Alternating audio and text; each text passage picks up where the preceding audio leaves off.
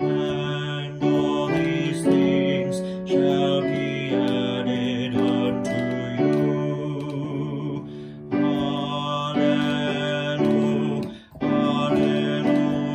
Alleluia,